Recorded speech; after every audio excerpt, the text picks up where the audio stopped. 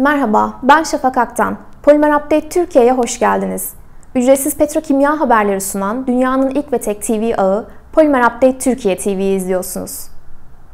Haftanın ilk gününde ham petrol fiyatları düşüşü sürdürdü. Çin'de devam eden koronavirüs salgını ve OPEC ve müttefiklerinin virüs nedeniyle azalan taleple ilgili toplantı yapma ihtimalinin düşük olması fiyatlarda düşüşe neden oldu. Vadeli Brent petrol pazartesi günü 1,20 dolar düşüşle varil başına 53,27 dolar olurken vadeli Batı Teksas petrolü ise 75 sent düşüşle varil başına 49,57 dolar seviyesinden işlem gördü.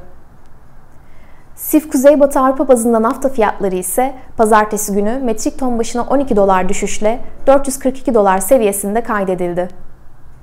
Geçen hafta Avrupa'da problem fiyatları ham petrol ve nafta fiyatlarındaki düşüşlerin etkisiyle aşağı yönlü hareket gösterdi. Avrupa'da geçen hafta etilen fiyatlarında da düşüş kaydedildi.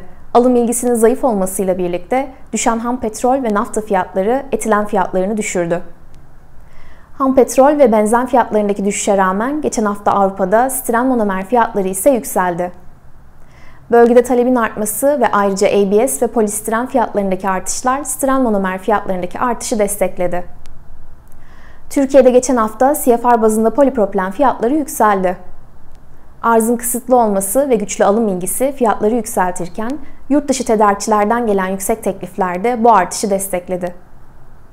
Geçen hafta Türkiye'de CFR bazında yüksek yoğunluklu, alçak yoğunluklu ve lineer alçak yoğunluklu polietilen fiyatları da yükseldi talebin artması ve daralan arz fiyatlarda artışa neden oldu.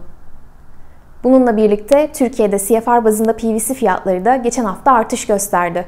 Arzın kısıtlı olması ve yurt dışından gelen yüksek teklifler PVC fiyatlarını yükseltti. ExxonMobil'in Fransa Port Jerome'daki krakerinde bu sene Eylül ayı ortasında bakım duruşu planladığı bildiriliyor. Söz konusu krakerin yıllık 425 bin metrik ton etilen, yıllık 290 bin metrik ton propilen ve yıllık 90 bin metrik ton butadiyen üretim kapasitesi bulunuyor. Günlük fiyat değerlendirmeleri ve güvenilir petrokimya haberleri için Polymer Update'e abone olmayı unutmayın. Son 20 yıldır Asya'nın bir numaralı piyasa istihbarat şirketi olarak İstanbul'daki ofisimizi yakın zamanda açmış bulunmaktayız. Aynı zamanda polimer alım satımlarınızı kolaylaştırmak için akıllı telefonlarınızda kullanabileceğiniz Polymer Exchange indirerek plastik ham madde sektöründe faaliyet gösteren 12 binin üzerinde kullanıcıya katılmanızı tavsiye ederiz. Daha fazlası için haftalık haber videolarımızı takip edin. Bugün 11 Şubat Salı Şafak Aktan'ı dinlediniz.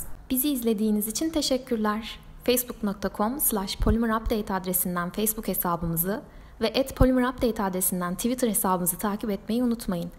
Ayrıca plastik ve petrokimya sektörüne yönelik en son haberler için YouTube kanalımıza abone olmayı ve videolarımızdan haberdar olmak için bildirimlerinizi açmayı da unutmayın.